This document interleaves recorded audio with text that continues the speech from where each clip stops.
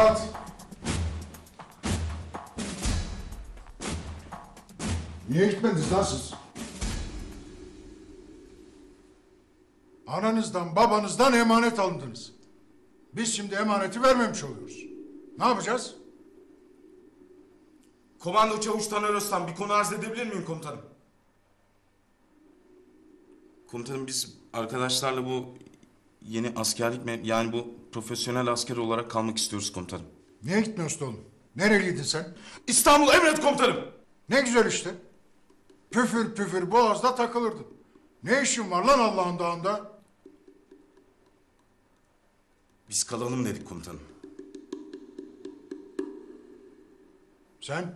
Muharrem Pehtaş Kırşehir emret komutanım. Sen de kalıyorsun öyle mi? E sayende kalıyor komutanım. Sen? Kamil Ertan Çanakkale. Evet komutanım. Sen niye kalıyorsun oğlum? Komutanım millet olarak milli birlik ve beraberliğe en çok ihtiyacımızın olduğu bu günlerde Destan okuma lan. Niye kalıyorsun onu söyle. ya komutanım karı geliyor güpe gündüzlerimize atıyor RPG'yi. Bir tane kardeşimizi alıyor s*** olup gidiyor. Ne yapayım ben gideyim Çanakkale'de balık mı tutayım şimdi? Özür dilerim komutanım. Senin derdin ne? Ma Mahmut Karakum Diyarbakır Emret Komutanım. Senin derdin ne oğlum? Şimdi komutanım eee, bu eee, dış piyasalarda eee, tavuk meselesi Tavuk mu? evet tavuk komutanım.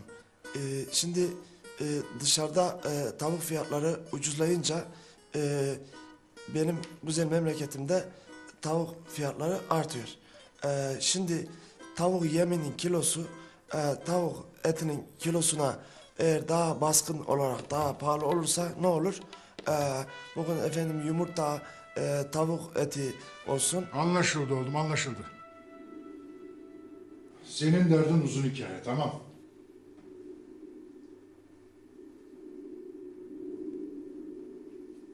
Hakan. Emredin komutanım. Bu aslanları listeye yaz oğlum. Emredersiniz komutanım. Hakan. Emredin komutanım. En başa da kendini yaz oğlum. Emredersiniz komutanım. Şimdi gidip kamuflajlarınızı giyin. Sonra da tıraş olun. Böyle soytarı gibi dolaşmayın karşımda. Hadi.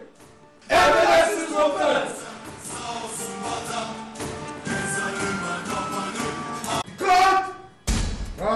Rahat.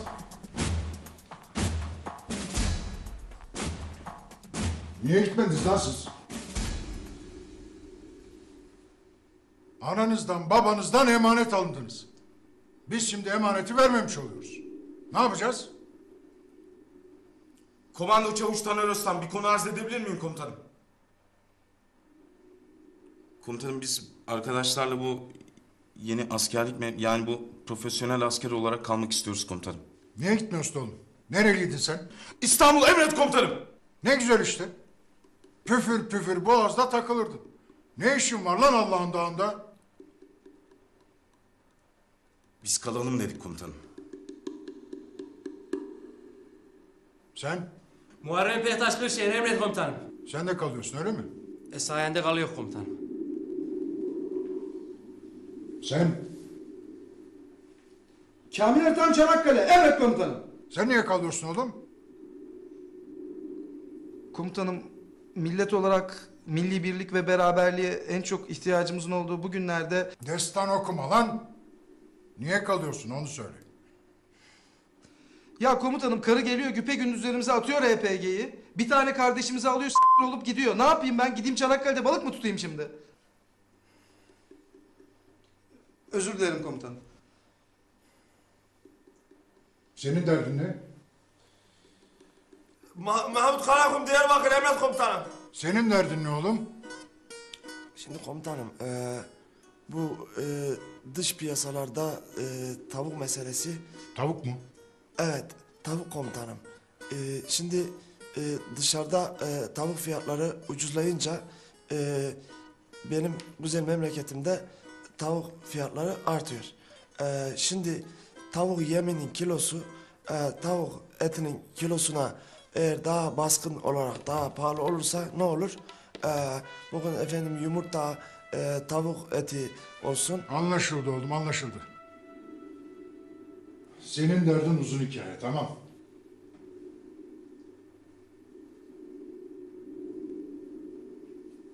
Hakan Emredin komutanım.